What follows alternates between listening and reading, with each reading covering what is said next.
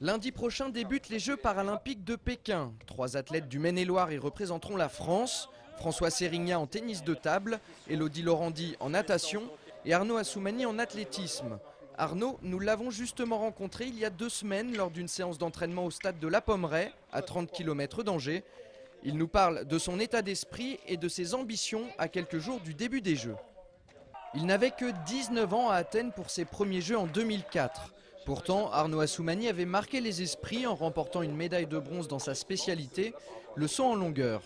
Depuis, celui qui a grandi à Rochefort-sur-Loire est devenu recordman et champion du monde dans cette discipline malgré son handicap, une amputation de l'avant-bras gauche. Après une bonne préparation avant les Jeux de Pékin, Arnaud a de réelles chances de médaille. Je me sens vraiment bien, je me sens en confiance, je me sens vraiment monté en puissance, donc euh, je pense que ça promet. Il a le potentiel pour gagner, voilà. Après, il faut qu'il puisse s'exprimer et qu'au moment de la compétition, il soit à 100% de, de ses capacités et qu'il y croit. Et Arnaud y croit dur comme fer, pour preuve engagé dans quatre disciplines, le 100 mètres, le 200 mètres, le 4 x 100 mètres et le 100 en longueur. Il vise pas moins de trois médailles et pas n'importe lesquelles.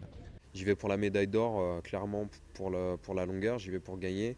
Et sur 100 mètres et 200 mètres, où je me suis vraiment préparé pour ça cette année, on va dire, euh, ça va être aussi pour gagner. Bon, si je fais une médaille, je serai très satisfait. Satisfait, Arnaud le sera surtout s'il décroche l'or en longueur.